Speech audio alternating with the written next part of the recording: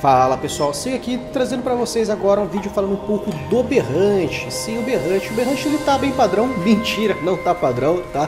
É, os outros três vídeos falei que as armas estavam padrão, o Berrante não, o Berrante mudou para um caramba. Eu acho que é a arma que mais teve alterações aqui em Iceborne. Já começa pelas notas musicais, que elas estão bem mais simples para serem tocadas, né? A gente consegue ver ali o auto-aprimoramento, mais defesa, mais ataque e regeneração de vida, que é as músicas que a gente tem nesse berrante aqui, tá? E para você auto, fazer o auto-aprimoramento é simples. Você pode simplesmente fazer isso aqui. E você já ativa o auto-aprimoramento. Pô, como é que você faz isso? É simplesmente apertar o botão de nota, que no caso do Switch aqui é o ZR. Você aperta o ZR, você pode sacar a arma já dando ZR e ele toca a música. Então você já faz o auto-aprimoramento, você não tem que fazer combo. Eles deixaram muito mais simples o berrante. Para você tocar as notas, ali no caso da defesa, você aperta duas vezes o X, X, X e a música já foi ativa. Você não precisa tocar ela. Olha lá, efeito de melodia mais defesa. Ela já foi ativa. Você quer dar ataque, duas vezes o A. A, A. Você ativou o ataque. Então ficou muito, muito mais simples. Você bufa a party inteira. Claramente, então ficou muito mais simples de você tocar as músicas subberrantes. Você não precisa mais é, é, fazer as notas certas e depois tocar elas. Não, tá muito, muito mais tranquilo. Né? A regeneração é a mesma coisa. Você aperta isso aqui e aperta isso aqui, regenerou. E você pode ficar combando.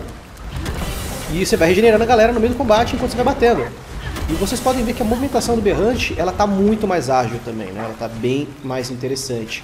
E depois de encher algumas notas, vocês verem que ficou brilhando ali, ó, uma nota verde, uma nota vermelha, uma nota azul, apresentando ZRX. O que, que é isso? Isso é um novo ataque do berrante que é sensacional. Berrante vai ser minha arma principal desse jogo. Não é possível, está muito legal essa arma. Que é um ataque que você faz que é uma melodia de ataque, que simplesmente faz isso aqui, ó. Toda essa firula que ele faz, além de fazer você bufar os as suas três melodias ao mesmo tempo, você dá um dano violentíssimo no monstro. Ele sai girando esse berrante na cabeça do monstro, feito doido condenado. Vocês não têm noção, o negócio é muito, muito forte, né? Então o berrante ele fica muito mais versátil e você consegue combar com ele de uma forma mais rápida. Você consegue emendar as coisas que você faz. Bateu aqui, puxou pra cá, terminou aqui, você já dá o pancadão doido lá no bicho. Então ele ficou uma arma que dá um dano bem interessante. Ela é uma arma que causa uma exaustão altíssima nos monstros. Em termos de combo, é basicamente a mesma coisa, né? Você tem aqui com X pancada pra frente, você tem com X aqui a pancada que ele dá um pancada pra cima, com a pancada lateral, pancada aqui e outra pancada aqui, e com os, o A mais X, né, que é a nota dupla, pancada para trás e um pancada dupla. Então, pancadas básicas que a gente tem, mas que no meio de um combo é, emendado com um pancadão aí de ZRX, que é a melodia que você toca, fica fantástico. Essa arma ficou muito, muito, muito interessante. Né? E a auto-melodia, auto-aprimoramento, ele deixa você mais rápido enquanto você está com o berrante na mão. Vocês podem ver que eu andando é assim, e eu com a arma sacada acabo sendo até mais rápido do que eu normalmente sou andando sem a arma. Então ficou bem interessante, né? E outra mudança que eles fizeram é que você não saca mais o berrante batendo. Você não consegue sacar o berrante batendo. Você aperta aqui o X, que é o botão de saque no Switch. Você não saca batendo, né? Você simplesmente saca a arma.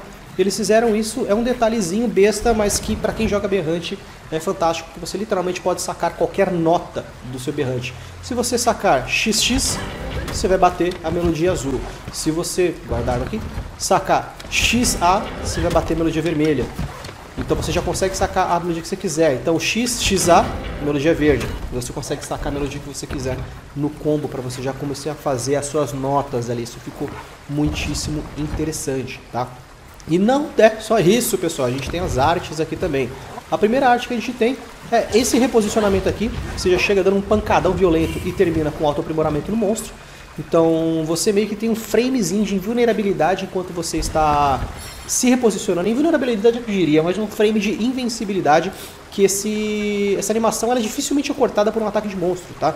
Então você pode se reposicionar ali e começar a girar na cabeça do monstro que você vai tomar ataque do monstro e a animação não vai terminar. Então você fica meio que invulnerável naquele tempo, você toma um pouquinho de dano, tá? Mas você não tem a sua melodia cancelada. Então isso é bem interessante.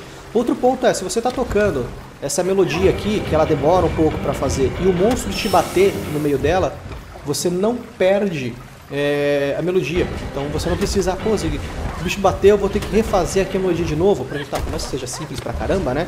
É, você não precisa fazer isso, a melodia vai estar tá lá. Então se você está quase terminando ela, o bicho te bateu, é até melhor, porque você vai lá e consegue usar a melodia de novo na cara dele.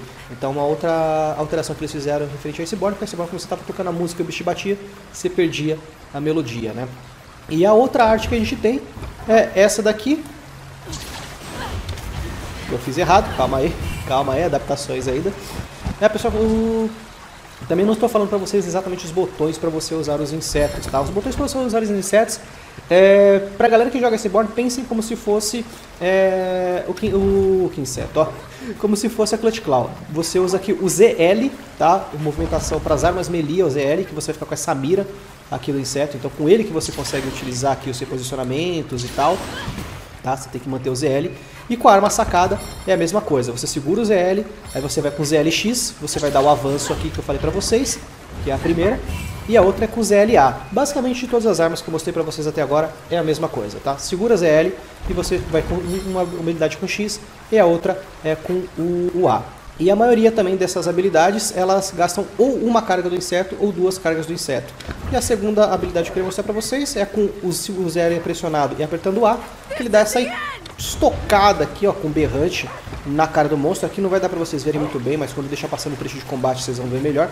Que você meio que dá uma pancada, você gruda é, uma linha no monstro e você dá uma nota que dá um dano elevadíssimo, elevadíssimo. A numeração aqui desse Monster Hunter está bem baixa, né? Então não sei se é porque é uma demo ou por isso eles vão utilizar realmente uma numeração mais baixa, mas a diferença de dano é considerável. A pancada normal do Berrante você dá em, em torno de 30 a 40.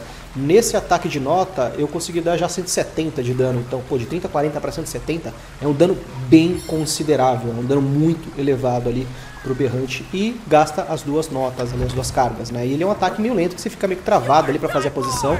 É, você tem um framezinho de vulnerabilidade também aqui nesse do berrante. Berrante tem vários frames de vulnerabilidade, só que você fica atrelado a uma posição. Então se você errou um monstro, se perdeu ali, ficou sem as suas duas cargas e o cooldown é altíssimo. Vocês podem ver ali que está enchendo a primeira carga ainda do inseto para poder ir para a segunda. Então essa é uma habilidade um pouco mais situacional, deu um combo ali, o monstro tá, tá caído, você quer reposicionar para dar um, um, pancadão mais forte. É, essa é a habilidade, mas realmente ela tem um cooldown elevadíssimo. E no mais do Berrante é isso, é uma arma que teve umas interações bem interessantes. Vou deixar passando para vocês um trechinho de gameplay.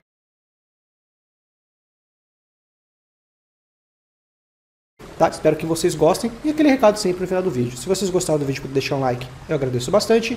E se não for inscrito, se inscreva para mais conteúdo de Monster Hunter e outros jogos. Valeu, pessoal, e até mais!